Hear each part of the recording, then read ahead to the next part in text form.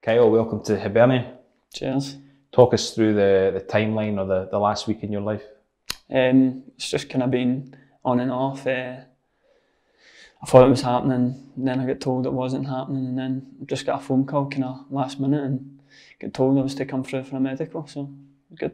Suffice to say, you're, you're delighted with how things have panned out. Yeah, I'm absolutely delighted. It's a, it's a new start for me. It's something that I think I needed to do in my career to progress to where I want to be. It was obviously important to you to make sure you left St Mirren on good terms. I mean, you've been there for a long, long time. I think you'd said from the age of five. Yeah, been there for 17 years now. So I think I've left left on the best kind of terms I could have. I didn't fall out with anybody.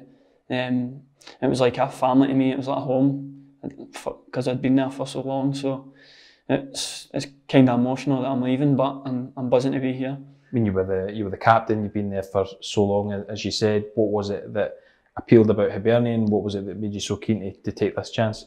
It's a massive club and um, could be playing European football next year, finishing third, fourth, second in the league. Um, it's just it's a massive opportunity. You look at John McGinn, what, what he's achieved now, and that's a, the footsteps I want to follow in. It's good that you mentioned John McGinn and not us because we get enough yeah. for talking about him. Looking back, it's a it's a strange coincidence now, but you actually got your your debut under Jack Ross against Hibs as a, an 18 year old. That must seem like a long time ago now.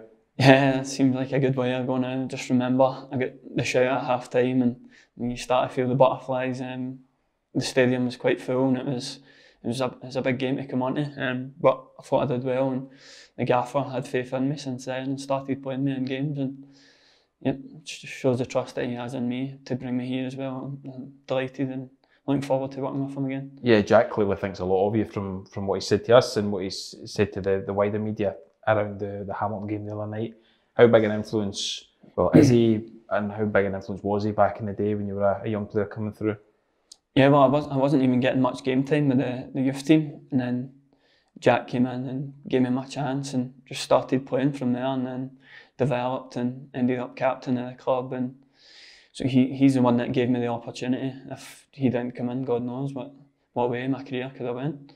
Did that appeal then about coming here, knowing that you, in a in a way, you're coming into a, a coaching staff that already know you inside out?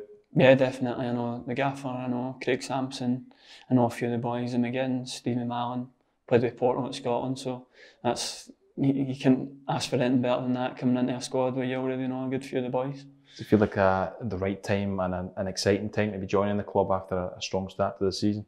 Yep, perfect time. I think you, you look at the squad, it's going to be hard for me to break into, but hopefully I can show what I can do in the training pitch and hopefully the gaffer believes in me enough to to play me in the team. And it's something I'm really looking forward to. Uh, you've made great progress uh, in the final stages of your rehab from from injury. You were saying you're, you're hoping to be involved basically as soon as possible once you're up to, to speed fully. Yeah, well, I played um, 45 minutes with the young boys at St Mirren. Um, I'm feeling I'm feeling fit. I've been fully training for three four weeks now, so whenever the gaffer's ready to put me in, I'll be ready. You must be desperate to make up for lost time as well. For somebody that's played so many games for your age, to have to sit out the last few months must have been difficult.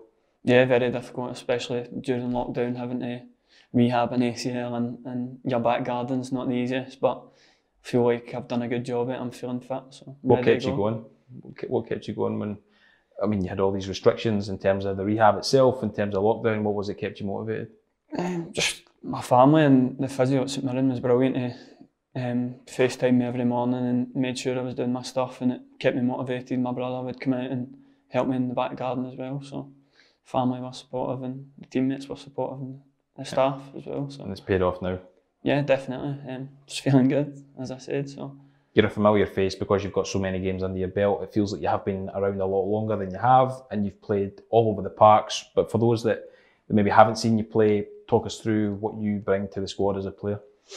Um, energetic, aggressive. I'm, I'm not scared of a tackle. Like driving forward.